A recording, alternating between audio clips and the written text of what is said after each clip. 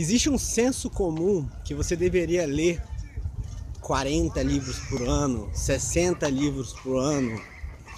Mas eu vou te falar uma coisa, você não deveria ler livro nenhum. Exatamente.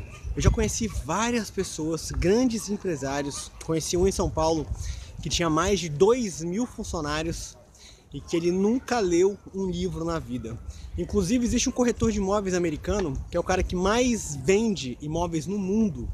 Ele vende 500 milhões de dólares por ano, ou seja, meio bilhão né, de dólares por ano. Provavelmente deve ser o PIB né, de muitas cidades de Brasília. Ele faz sozinho. Ele é o maior vendedor do mundo, corretor de imóveis de Nova York.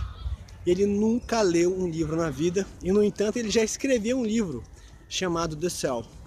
Por que eu estou falando isso? Porque todo conhecimento que você adquire, tudo que eu falo aqui para você, serve na verdade apenas para você usar como base, como parâmetro para suas atitudes.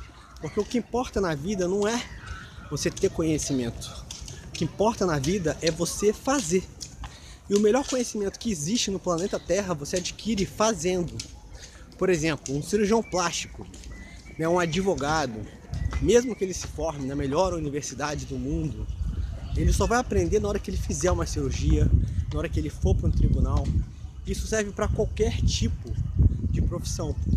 Então você precisa entender o que importa na vida é fazer, fazer acontecer.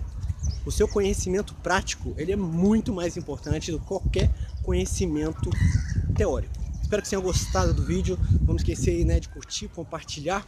Estou falando aqui diretamente do Hyde Park aqui em Londres. Assinar e favoritar o canal. E se você quiser aprender, né, como meu cabelo aqui, ó, fica subindo toda hora, revoltante. Se quiser aprender aí a como inovar na sua vida, olha aqui, ó, passando aqui. Se quiser aprender a como inovar na sua vida, você vai entrar no inovaflix.com, né, a minha Netflix da inovação. É isso aí, peraí que meu pau de selfie ele é manual, tem que eu mesmo desligar ele.